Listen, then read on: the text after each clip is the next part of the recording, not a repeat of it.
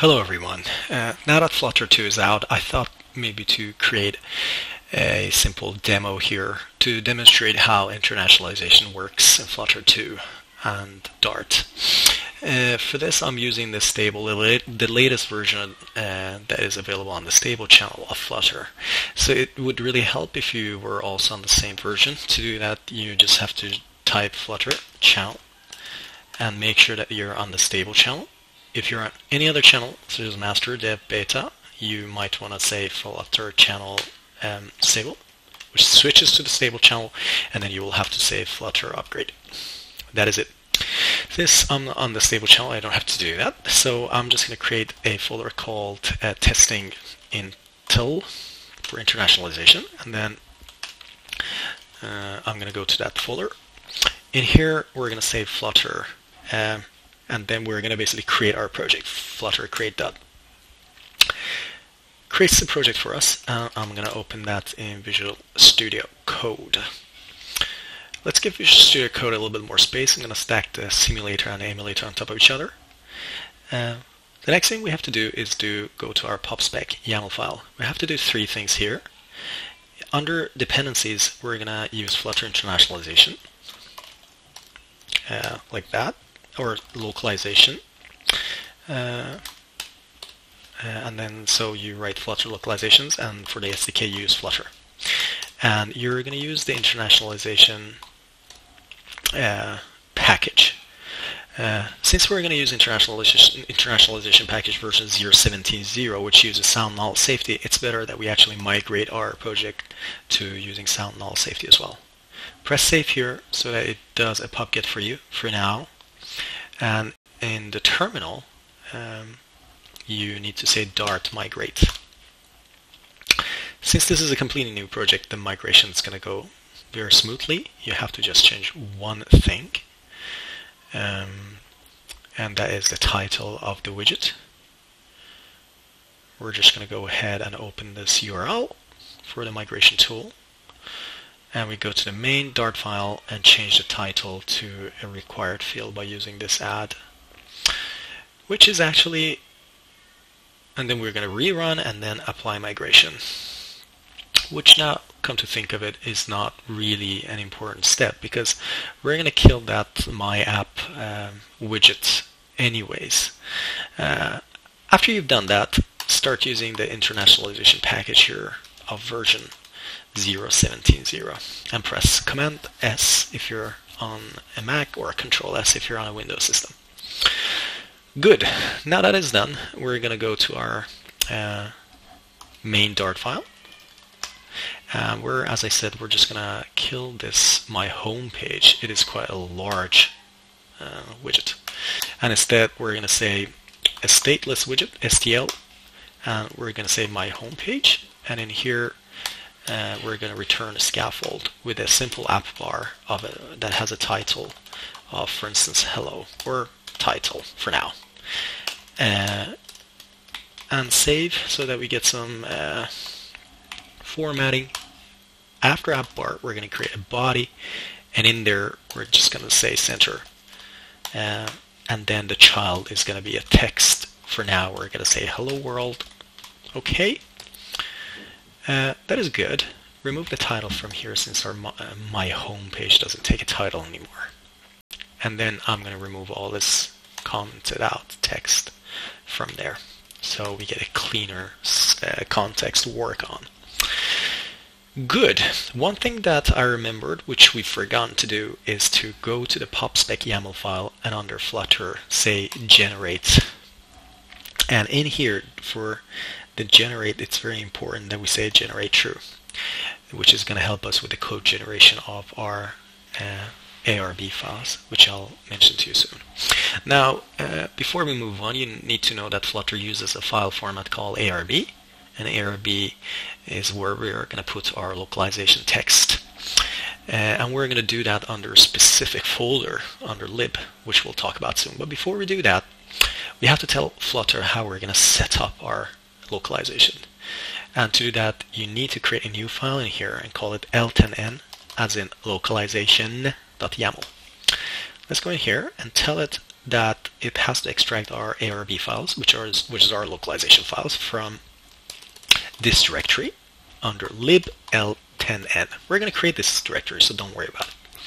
Then we also tell it uh, which is the base language for our project. In this project, I want to support English and Swedish. So the base language is going to be English. And I'm going to say template ARB file. And we're going to say uh, basically app en ARB. This is a file that we're going to create. So the name is something that we decide. It doesn't have to be like this.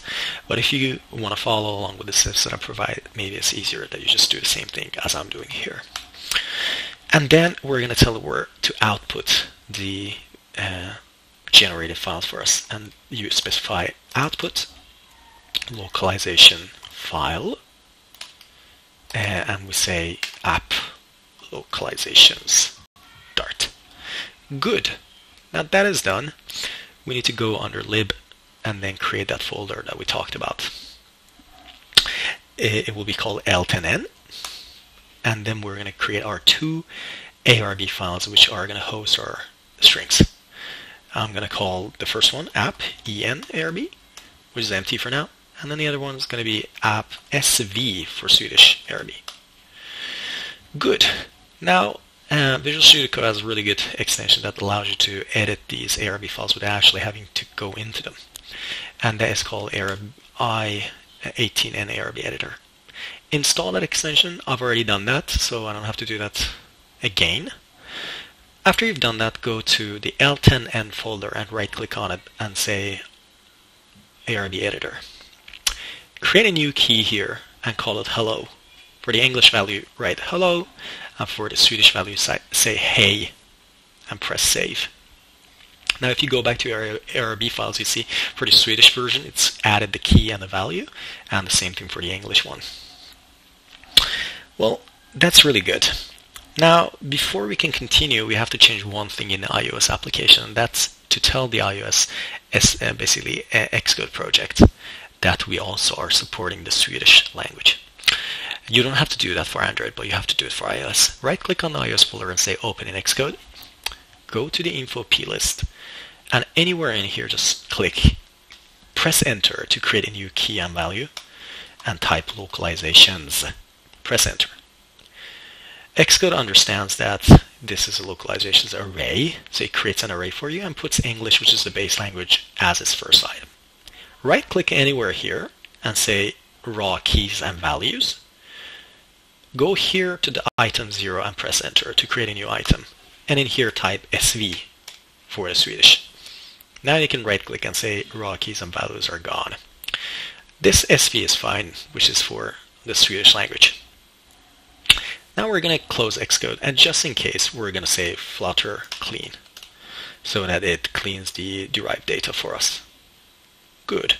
Now we might get some get some errors here. I'm not really sure. Hope not. Uh, what you need to do now is to run your project. I'm going to do a Flutter select device and choose Android. Uh, and then we have to say run run without debugging. What this is going to do is to kickstart the uh, build process for our auto-generated uh, localization file. If you go under Dart tool, um, there's right now a Flutter build uh, placed there. After the generation is done, you're going to see a new folder uh, appear up there,